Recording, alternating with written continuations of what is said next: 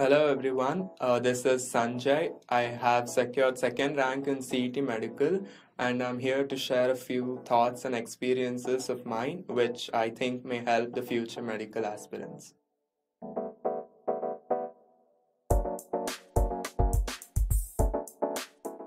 Uh, to secure a good rank in any competitive examination, uh, you must know that perseverance and hard work are the only way. There is no shortcut to hard work. Uh, you must uh, keep putting your best efforts for the two years of your college. Do not get distracted by any events. Uh, try to refer as many of uh, books as possible for each subject and keep solving much of multiple choice questions. They help clear your concepts especially in physics.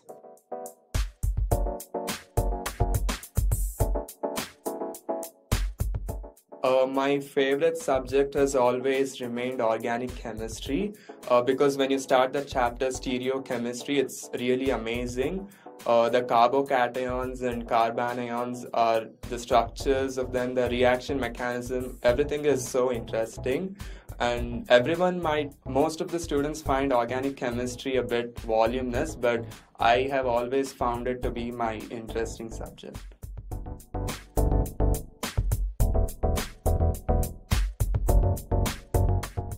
Uh, my favorite subject being organic chemistry. My favorite teacher is also organic chemistry teacher, Jitendra sir. Uh, in during every class, he uh, gives students uh, like 30 questions, and those questions are really new generation type questions, which helps students to crack any level of uh, the concept based questions asked in any examination. So I think his teaching is uh, really uh, interesting.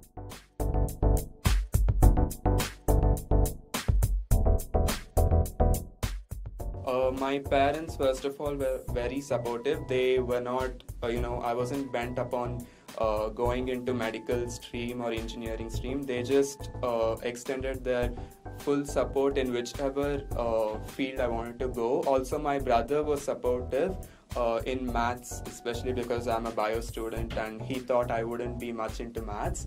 Uh, so he helped me in the maths subject. And uh, of course, my college teachers, they used to solve any doubts I had. So I'm really indebted to them.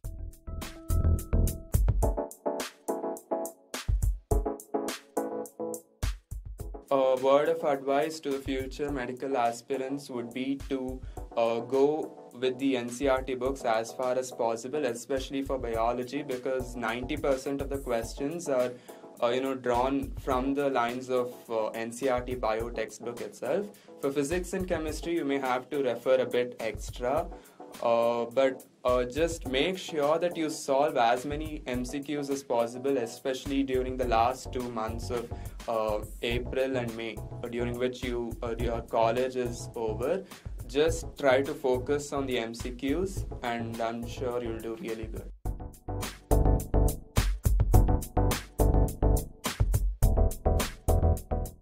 Uh, I prefer to do MBBS course and after that I think most probably I'll be doing neurology.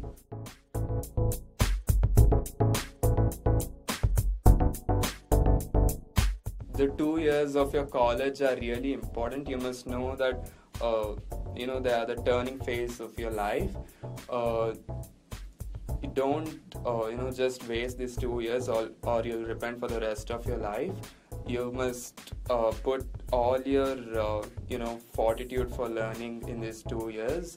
Only then will you be happy for the rest of your life